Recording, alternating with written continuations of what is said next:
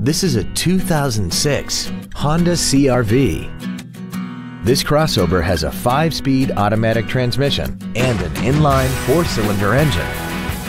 All of the following features are included. Traction control and stability control systems, an anti-lock braking system, an engine immobilizer theft deterrent system, stability control, side curtain airbags, and power windows.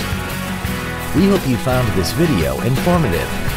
Please contact us today.